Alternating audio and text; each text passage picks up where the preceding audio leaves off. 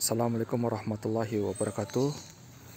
Eh, Teman-teman, kali ini saya akan membahas sebuah tanaman Yaitu tanaman bisa- biasa disebut tanaman miracle fruit, buah miracle fruit. Ini penampakannya. Penampakan buah miracle fruit. Ini pas saat ini kebetulan eh, lumayan banyak buahnya.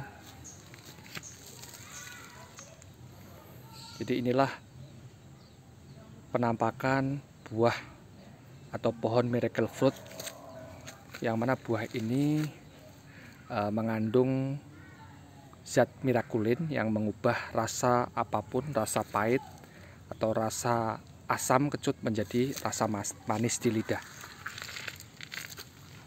Ini banyak sekali buahnya, cukup lumayan. Tingginya sekitar 75 cm dari eh, tanah.